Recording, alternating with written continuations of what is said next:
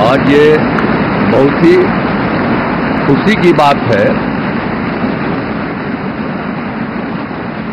दस साल से ये प्रधानमंत्री हैं और फिर प्रधानमंत्री होने जा रहे हैं। और इन्होंने पूरे देश की सेवा की। अब पूरा भरोसा है कि जो कुछ भी बचा है, अगली बार ये सब पूरा कर देंगे। और जो भी हर राज्य का है, और हम लोग पूरे तौर पर सब दिन इनके साथ रहेंगे।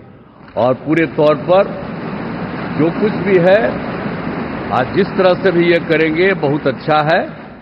और आप जान लीजिए कि कुछ लोग हम लोगों को तो अब लगता है कि अगली बार जो आप आइएगा ना तो इस बार हम देखें कि कुछ इधर उधर कुछ जीत गया है, अगली बार सब हारेगा।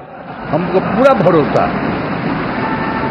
ये सब बिना मतलब का बात बोल बोल करके, बिना मतलब का बात बोल बोल करके क्या किया है? और ये सब कोई काम किया है?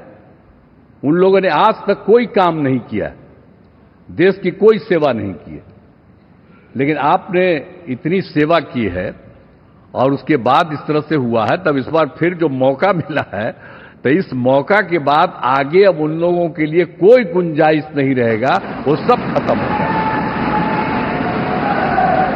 अब बिहार, आज देश बहुत आगे बढ़ेगा।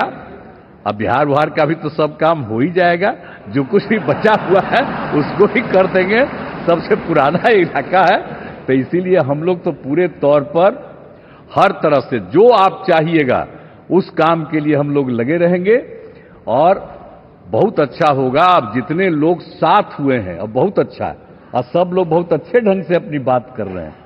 तो सब लोग ठीक हैं। हम मिल करके सब लोग चलेंगे और हम लोग पूरा आपके साथ रहेंगे और आप पूरे देश को कितना आगे बढ़ाएँगे, ये बहुत खुशी की बात होगी। यही हम लोगों को कहना है।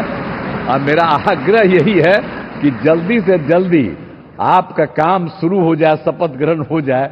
अब आप एतवार को करने वाले हैं तो हम तो चाहते थे कि आजो हो जाता तो अच्छा था। लेकिन लेकिन आपकी जब इच्छा है तो जब भी हो जितना तेज़ी से काम हो जाए तो बहुत अच्छा है और बहुत अच्छा रहेगा। अब इस बार हम लोगों का इससे बड़ी खुशी होगी और पूरे देश में इसका बहुत ज़्यादा फ़ायदा है। इधर उधर कोई करना चाहता उसको कोई लाभ नहीं है।